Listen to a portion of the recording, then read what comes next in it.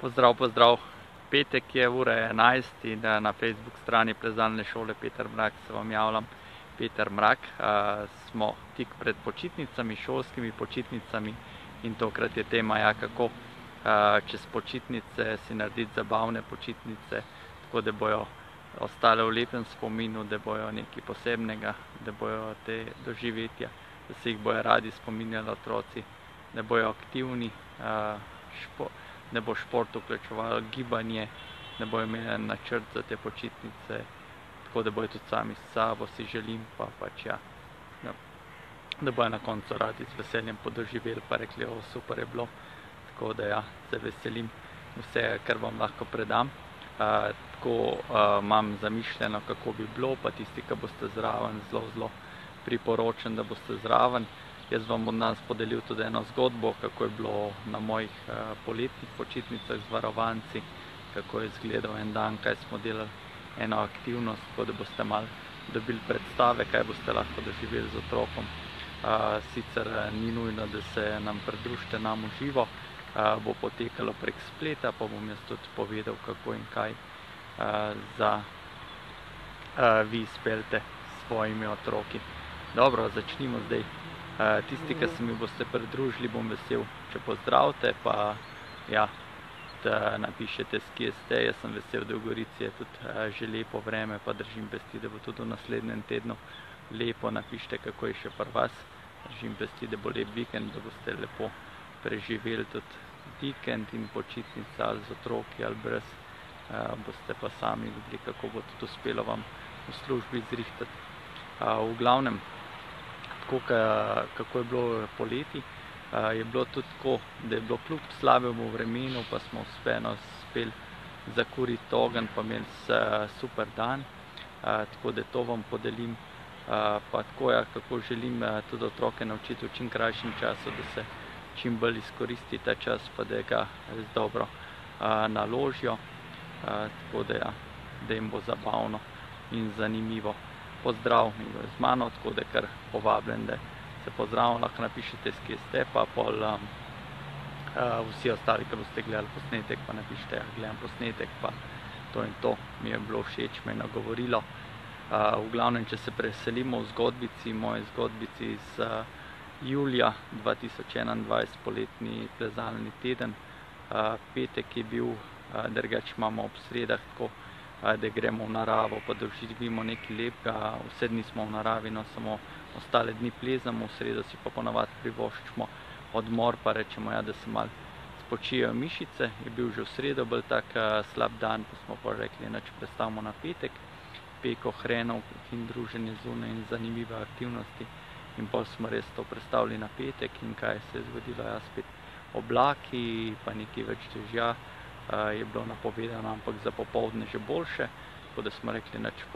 dopoldne izpeljemo igrice pa smo naredili tako manjše skupinice, tudi take igrice, kakor jih boste zdaj dobili za usmeritve za čez počitnice, da bojo lahko res nekaj doživeli otroci, da bojo si zapomnili. In pol smo te igrice v trojkah izpeljali. Fajn, ja, kako je videti, kako sodelujejo pa si pomagajo otroci. Napišite, tudi vam fajn, tako da otroci, če jih imate več v družini, sodelujejo med sabo ali pa drugače. Meni je to kar fino in pol tako videti, kako si pomagajo, tudi temu privajati pa učiti, kako zmorejo še več, če naredijo lahko nekaj skupaj.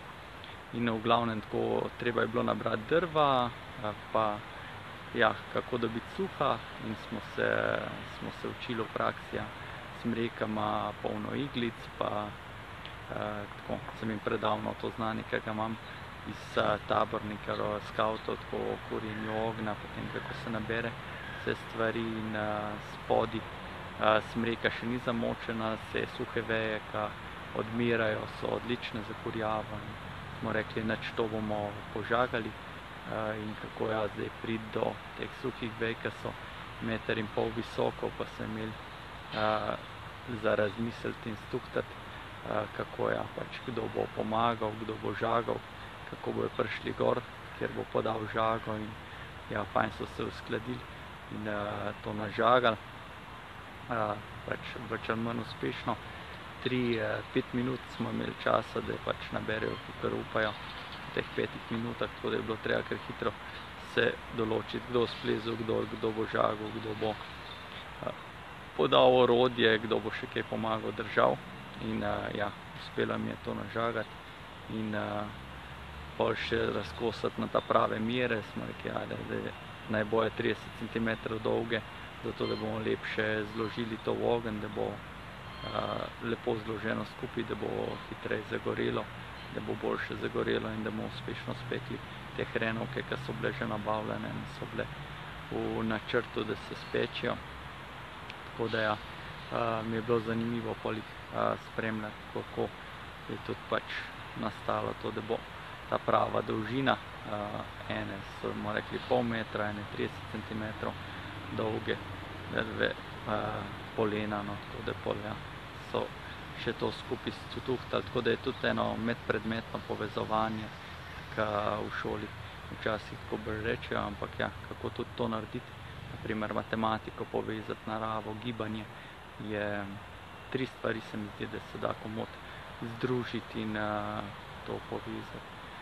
In pol se še hitreje naučijo in bolj zapomnijo, ker pač nekaj delajo pa ja, osvojijo tako za zraven to. In potem smo to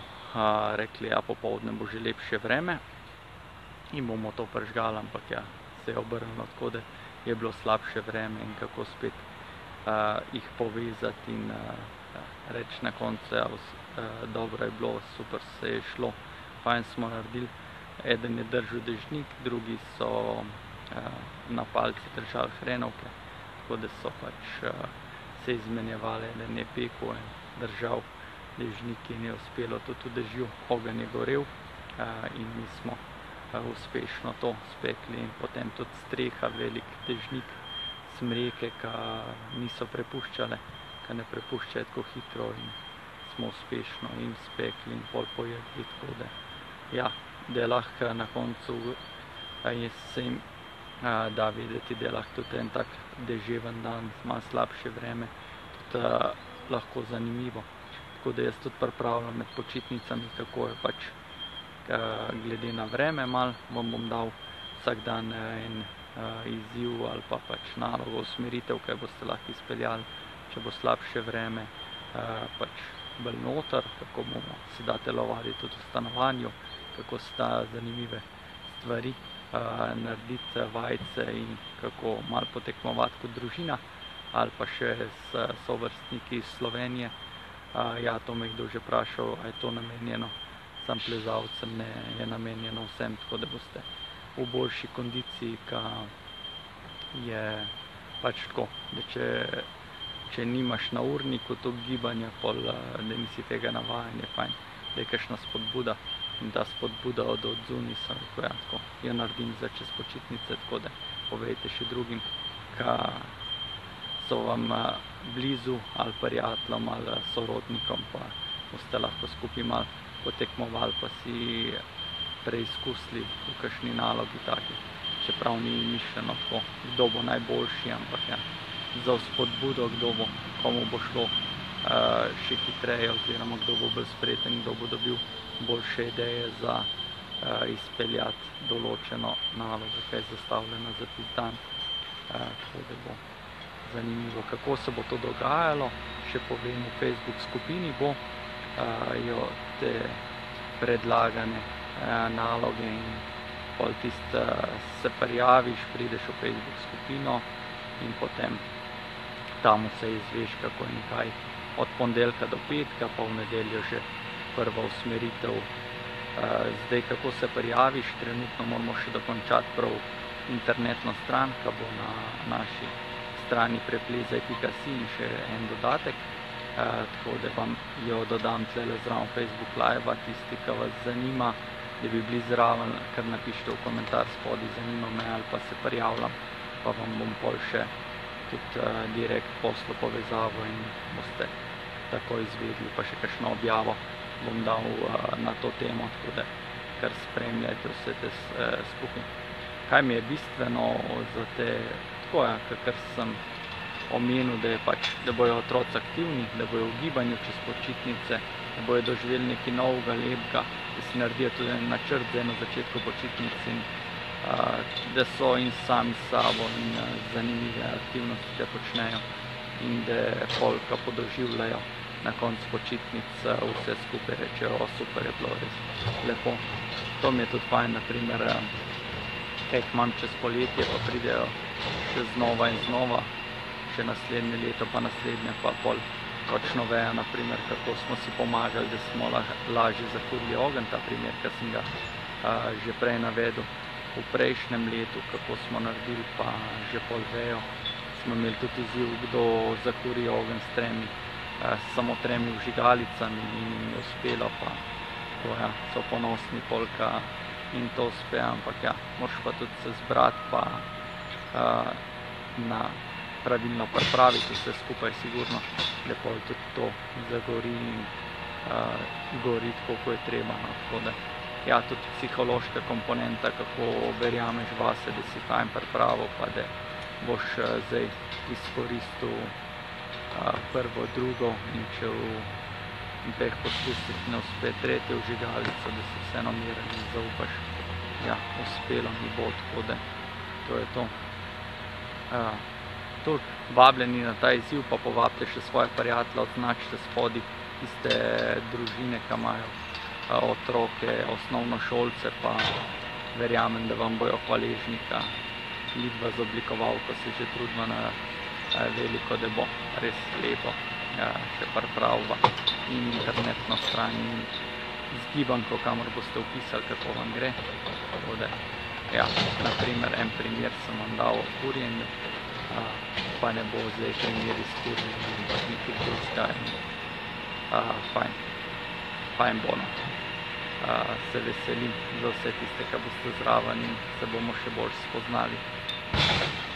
Lepo se mejte, lep zaključek tedna vam želim in hvala, hvala za vse podeljeno naprej še drugim. Srečno!